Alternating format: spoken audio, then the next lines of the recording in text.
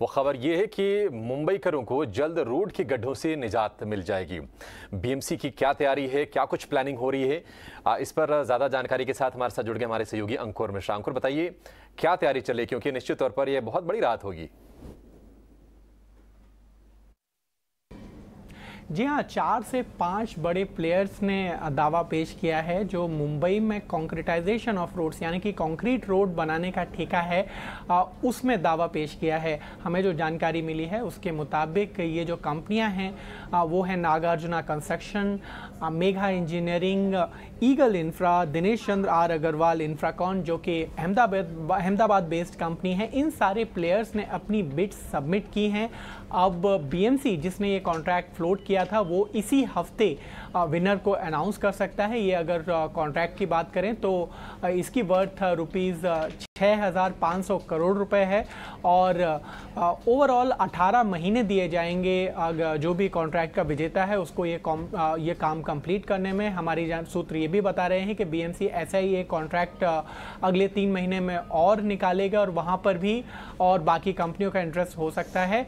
आ, हमें जो जानकारी मिली है उसके मुताबिक ओवरऑल प्लान यही है कि दो साल में लगभग ये मुंबई का जो पॉट होल्स हैं उसकी समस्या को कॉन्क्रिटाइजेशन से दूर किया जाए। और इसके लिए महाराष्ट्र के सीएम ने एक बैठक भी बुलाई थी कुछ दिनों पहले और उसके बाद ये ऑफिशियल तौर पर ये काम शुरू हो गया। अब देखना ये होगा कि इन लिस्टेड प्लेयर्स में से बीएमसी किसको चुनता है जो ठेका है फाइनली मुंबई में रोड्स ठीक करने का, वो किसको मिलता है? ठीक है, शुक्रिया अंकुर। तो निश्चित तौर पर मुंबई के लोगों के लिए एक बड़ी राहत होगी और कंक्रीट के रोड बन गए। तो गड्ढों से आज़ादी मिल जाएगी, क्योंकि हम देखते हैं कि मुंबई में जो सड़कों की क्वालिटी अभी भी काफ़ी ज़्यादा ख़राब है, बहुत ज़्यादा गड्ढे देखने को मिलते हैं और इस चीज़ से निजात दिलाने के लिए एक बड़ा प्लान चाकआउट किया है। बीएमसी ने और कंपनीज़ के नाम भी अंकुर सामने लेकर आ गए हैं NCC Megha engineering Eagle infra Infracon ये वो नाम हैं जिनके पास ये दौड़ में होंगे और टेंडर का ऐलान इसी हफ़्ते हो सकता है। बोली जीतने वाली कंपनी का दरअसल। एनसीसी के बारे में आपसे जरा एक बार राय चाहेंगे। विवेक, अच्छी तेज़ी हमने लोअर लेवल से इसमें देखी है। नब्बे रुपए के पार भी निकला ये। थोड़ा सा ऊपर से प्रेशर आ रहा है। आप ये कंपनी आपको कैसी लगती है विवेक? और इस पर अगर किसी को अगर निवेश करना हो, थोड़ा सा लॉन्ग टर्म की अवधि अगर लेकर तो क्या सजेस्ट करेंगे आप?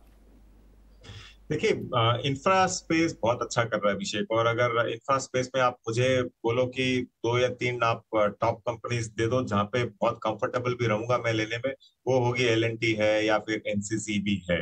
और एनसीसी लगभग मतलब जो रिजल्ट्स आ रहे हैं वो अच्छे आ रहे हैं। इंफ्रास्ट्रक्चर स्टोरी बहुत अच्छी प्ले हो रही है और जो वैल्यूएशन है वो काफ़ी सस्ते दिख रहे हैं कंपेयर टू इट्स पियर तो मुझे लगता है कि आपको इसको होल्ड करना चाहिए।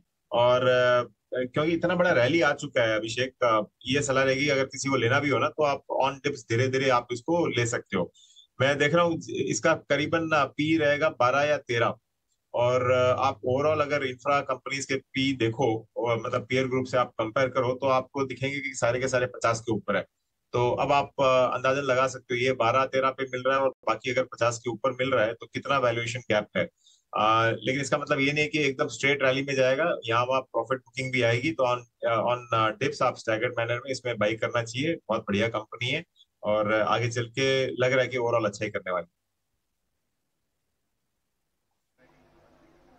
हम्म और ठीक है तो ये रहा है आपको इंफ्रास्ट्रक्चर एनसीसी पर दे दी गई है। चलिए अब आगे